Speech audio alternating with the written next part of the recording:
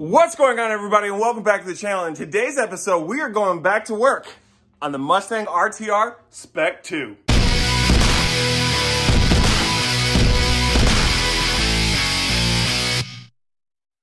So here we are, ladies and gentlemen. The 18 to 21 Mustang bumper is back in the garage. Finished in our, ooh, what is this? Is that dog slobber? That better just be slobber. That better not be actual scratches. Okay, that's coming right out. Whew, I let it sit outside for like a second and I started freaking out that it's already damaged. So it's back, it's in grabber blue. It looks amazing. We had it on the car for a little bit and uh, again, it's a whole lot of blue. So what we're gonna be doing with this thing today is breaking up a little bit of that blue by installing all of our RTR goodies that we have around here. We're gonna be installing the chin splitter, we're gonna be installing the lower grill, the upper grill, the LED lights, and the painful to your knuckles RTR front bumper vent. So I have everything laid out here and I have this camera set up so we're gonna bounce back and forth between the phone and the tripod as I'm filming some other stuff for some other projects that I have working right here. So just so you know, this video isn't gonna be a complete walkthrough on how to do the installation. It'll kind of be a quick overview, but trust me, I will be having detailed videos coming out very, very, very soon but they won't be on my channel. Perhaps they'll be on somebody else's, but wait, what? The installation of the lower grill here is pretty simple once you have the bumper off. All you're gonna do is take this, pop it in over these tabs right here, and then just kind of press it into place and everything else takes care of itself. Kind of got uh, clips from the factory built into it that'll latch on to uh, the little tabs they have here on the back of the RTR lower grill and just hold it in place. It's really, really simple. The hardest part of installing this and the upper grill is really just getting the bumper off. Like I said, installation on this piece is pretty straightforward. All you gotta do is pop it back into the stock clips that you have along here. So once that's done, I just kind of like to go through and check to make sure all these little notches here are back over the edge of the grill. And then I walk around front and I go ahead and I make sure that uh, everything is lined up the way that it needs to. So it looks good up front. And can I say, she looking good. I guess since we have that up, I could go to the upper grill. Yeah, let's just go ahead and do the upper grill. Uh, for the upper grill, the RTR grill doesn't come with these holes drilled for your RTR upper LEDs. So you are gonna have to drill those out. Um, I think it's a one-fourth drill bit, but uh, don't quote me on that. Actually, do quote me on that. It's a one-fourth drill bit. So I got this vent in.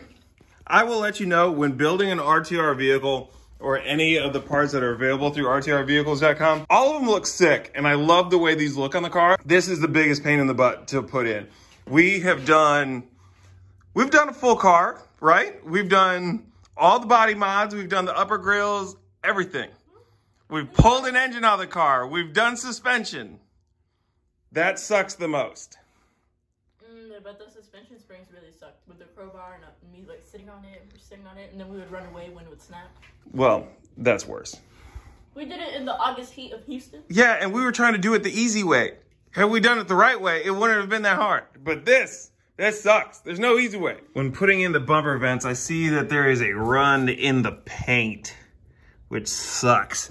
It's right below the, the turn signal, right in front of the bumper vent. I'm not really sure if anybody would notice it, but I've now noticed it. I know I'm not gonna be able to unsee it. So I'm gonna leave this section alone. Anybody that is able to paint should be able to fix that with everything else in here. Um, as long as I don't put the bumper vent and turn signal there and just leave it to this area, they should be able to just fix this one spot, I'm hoping. Um, I don't know, we'll see. I should probably just stop doing everything I'm doing right now. But again, as we all know, I'm impatient and this is just how we're gonna have to handle it. Moving on to the upper grill here. These holes here for your RTR triangle lights or whatever we have, I think they're pentagons now. But uh, these holes aren't drilled, so you got to drill them. If you look, there's a little notch right here. What you're to have to do is set your quarter inch drill bit right up in that little notch and drill out there. There's three of them on each side, so six in total. Pretty easy to do, so we're gonna knock that out real quick. Here's the upper grill in place with everything popped in, the holes drilled out. She's looking so nice. And it's breaking up all that freaking blue. Uh, we got to put on the lip next. And I'm to hold off on the light since we do have to take it into the shop to get that spot fixed. Definitely gonna hold off on the lights. I don't wanna put it in there, have the boxes and everything dangle around and something get damaged because then that will piss me off. Putting the RTR lower chin splitter here on the car right now. This again is really easy once you have the bumper off. Uh, once you get your stock chin spoiler off, you're gonna take, I don't even think you can see them from this way, but you have all your little speed clips that your bumper uses to attach your chin splitter to. You're gonna transfer those over to the RTR splitter all the way along the bottom. There's like 10 of them, and you have these three little push clips in each corner. You're gonna transfer all that stuff over to the new RTR splitter. And then you're gonna use these little dowel looking things here. There's three of them along here somewhere and you're gonna use that to help line everything out, push it in place, and then just start using your stock hardware to put it back down. And like that, you got a chin splitter in place. So, funny story, when installing the chin on this, I was missing one of the speed clips. I couldn't find it, started looking around, and then I found a bag marked front bumper. All the parts that I put into this were the wrong parts. So now I have to remove everything and replace it with the correct hardware.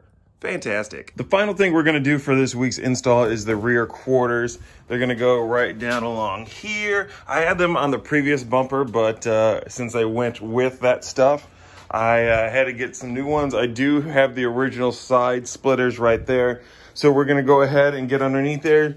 All you have to do for this is just clean the underside of that section right there on the side.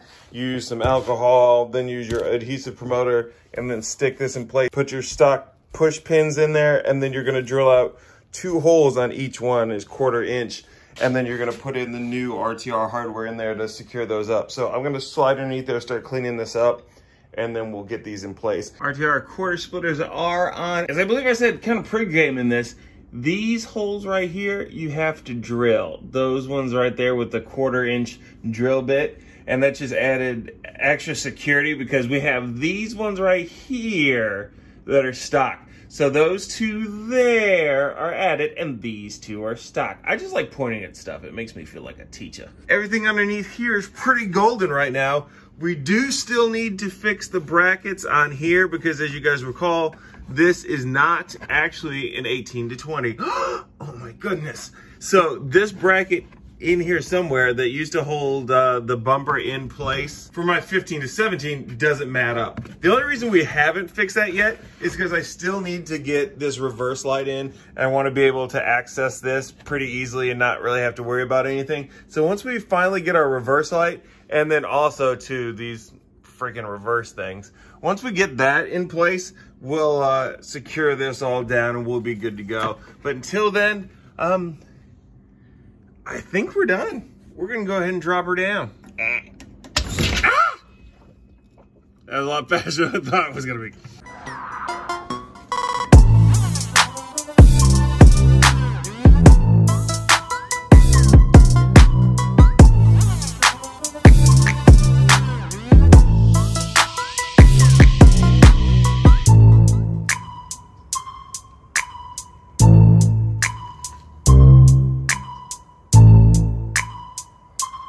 That does it for this week's video. We got a lot done here with the RTR Mustang Spec 2, and we're looking to get the whole thing finished up version 2 starting uh, next video. Because the hood by the time you guys watch this is gonna be in the paint shop. We're gonna be taking back the front bumper to get that little mishap fixed. So hopefully all that'll be back. Then we'll be able to do the led inserts finish up the bumper insert, and then once the hood gets back from paint, then we can do the hood inserts on that thing. And Spec 2 conversion to 2018, 2021 will be done. We are going to be ordering the Spec 5 fender flares probably in about two weeks. And then it'll take probably about a week for it to get here. We do have the seats on order, I promise, but they have to get specially made. So those are on the way as well. And then all we have left to do from what I want to get done at that point, see if we can find some Brembo brakes for this thing, put a half cage in the back and convert it over to digital dash. So those are all kind of wants. Those aren't needs. So everything will be ready to go. And I'm really, really happy. We still have some stuff left to do with the BMW. Um, we will get back to the BMW. When I first started working on the BMW with Drew, that was one of our biggest videos when we did the dual caliper brakes conversion. But uh, then it dropped off. I thought this would be a good content getter, but nobody really seems to like it. Nobody really seems to be asking any questions about it. So we need to make sure that we're getting back to what people like to watch. So that's going to be finishing up this then moving on to the F-150 out there. So once we get on the F-150, that'll go pretty quick. So then that way we can get moving on to, if you can see back there underneath all that is the Mini Cooper. But I know that you guys will enjoy that one. So let's finish up Spec 2, get on to F-150, and we'll be good to go. So thank you guys very much for tuning in to this episode. If you guys liked it, make sure to give us a big thumbs up. It lets us know that, uh, hey, you like what we're doing and we should continue doing it. I'm going to continue doing it whether or not you like it or not, but hey man, that's just me. I like to have viewers though. If you are new to the channel, make sure to go ahead and give us a uh, subscribe, follow us, hit that subscribe button, and then hit the bell notification so you know every time we post, which is Mondays and Thursdays typically. So thank you guys once again, and I will see you in the next episode. Peace!